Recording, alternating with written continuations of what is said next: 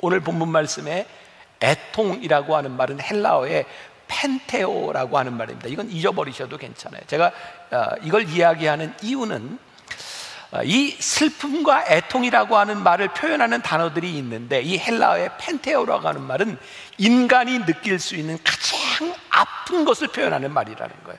마치 심장을 꿰뚫는 것 같은 뼈를 깎는 것 같은 살을 애는 것 같은 아픔과 슬픔을 이야기한다는 거예요. 애통하는 자는 복이 있나니라고 말씀하셨을 때 우리들이 어쩌면 우리의 인생에 가장 힘들고 아픈 그 슬픔을 우리들에게 이야기하고 있다는 거예요.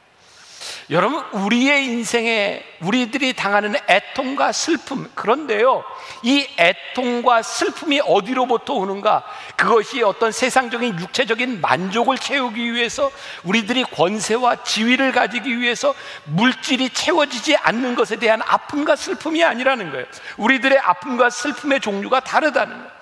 그래서 마태복음 6장 31절부터 32절에 이런 말씀이 있죠. 그러므로 염려하여 이르기를 무엇을 먹을까, 무엇을 마실까, 무엇을 입을까, 그것 때문에 아파하지 말아라. 이는 다 이방인들이 구하는 것이다. 이런 애통함이 하나님께 위로를 받는 것이 아니다.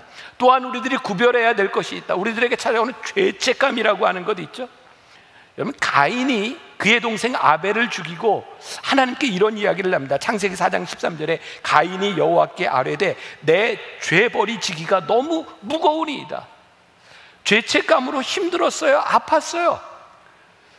그래서 이 죄책감에 대한 문제, 우리의 죄에 대한 문제 이거 해결하려고 예수님 당시에 바리새인 사두개인 바리새인 그들은요 율법을 만들어 놓고 그것을 지키려고 애쓰는 것으로 문제를 해결해 보려고 하죠.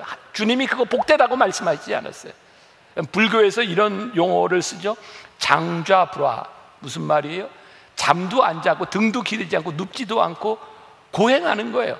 용맹정진 잠도 자지 않고 어, 그렇게 수행하는 겁니다. 이렇게 고통을 통해서 여러분 그 고통의 문제 우리들이 당하는 고통이 다 복이 있다라고 말씀하시는 것이 아니죠. 여러분 잠언 17장 22절에 보니까 심령의 근심은 뼈를 마르게 한다.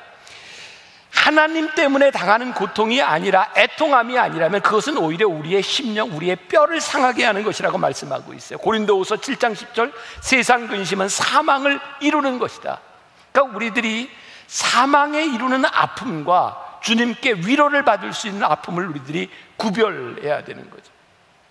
어떤 애통함이 위로가 있으며 그 애통함이 우리들에게 어떻게 축복으로 우리들에게 와질 수 있는가? 그것은 주님의 위로를 받을 수 있는가? 아닌가에 있는 것이죠. 한번 생각해 보세요. 지금 여러분들이 당하는 애통함, 아, 내가 주님의 뜻대로 살려고 하나님 앞에 서니 이 마음이 아프다.